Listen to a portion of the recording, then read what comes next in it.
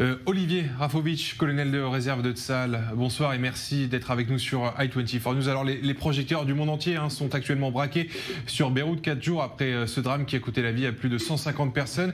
Euh, voir une pancarte à l'effigie d'Assad Nasrallah pendue au cœur de Beyrouth, c'est un coup dur pour le leader du Hezbollah?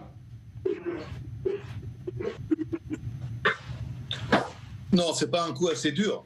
Il faudrait pas seulement qu'il y ait une effigie euh, en carton, il faudrait qu'il soit pendu euh, haut et court en tant que criminel de guerre, puisqu'on a affaire ici à un criminel de guerre qui est le chef d'une organisation terroriste aux mains de l'Iran, qui a véritablement phagocyté l'État libanais. Et d'ailleurs, vous parliez tout à l'heure avec vos journalistes de Michel Laoun, président chrétien du Liban, en termes, euh, je dirais, historiques français, puisque M. Macron, président euh, de la France, était quelques jours à, Beyrouth, puisqu'il y a des liens presque filiaux entre France et le Liban. Je dirais que le régime en place actuellement avec M. Michel Aoun et euh, Nabi Berri euh, pour le Parlement est en fait un régime collabo, je dis bien collabo, avec l'Iran et qui tient en otage tout le peuple libanais. D'ailleurs, on a bien vu que lorsque des pays veulent donner de l'aide humanitaire ou médicale au Liban, pour des raisons politiques et des raisons évidemment d'intérêt iranien, non pas libanais, on refuse euh, l'aide médicale, entre autres israélienne, puisque nous sommes aujourd'hui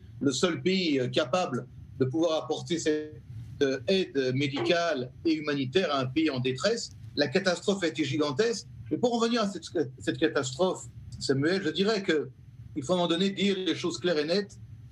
Le discours hier de Nasrallah est une infamie, une infamie au monde, puisque pourquoi en fait un chef de milice terroriste prend la parole à la place du gouvernement libanais et explique que ce n'est pas lui qui, euh, est responsable d'avoir entreposé euh, plus de 2000 tonnes euh, de nitrate d'ammonium, un, matériau extrêmement dangereux et explosif, dans le port de Beyrouth. On sait que le Hezbollah, depuis des années et des années, se prépare à la guerre avec Israël, il entrepose, il prépare, il confectionne des missiles, euh, des bombes. D'ailleurs, il se vante de vouloir attaquer, de vouloir toujours menacer, même hier dans le discours, euh, le port de Haïfa. Donc, il ne va pas le faire avec des, des, cacahuètes, avec des allumettes, mais avec des missiles et avec des bombes.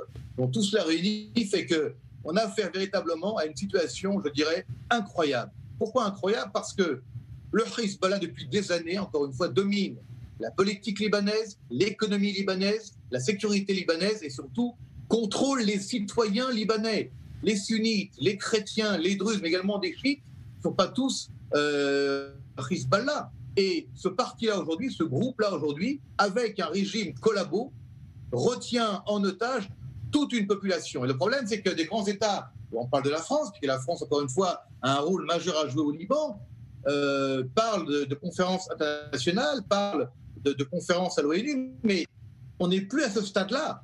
S'il n'y a pas aujourd'hui je dirais, d'action militaire et politique de grande envergure, avec un courage politique derrière, le Liban va succomber sous le joug du Hezbollah, qui va véritablement l'iraniser et le transformer en province iranienne. Et le Liban, le beau Liban, le pays du cèdre, sera euh, un vague souvenir euh, sur lequel certains euh, dirigeants du monde pourront rêver.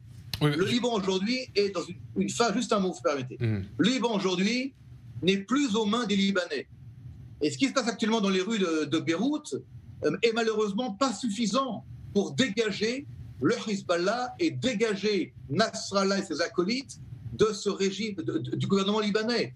Parce que le président libanais, Michel Aoun, chrétien, a été mis au pouvoir grâce au Hezbollah, grâce à l'Iran. C'est un peu, si vous voulez, le maréchal Pétain dans les années 40 en France. Il faut transformer ce régime corrompu, ce régime collabo, et refaire que le Liban redevienne un État souverain. Et d'ailleurs, dernière, dernière parole, il n'y a pas de raison pour que l'État d'Israël et le Liban soient en guerre.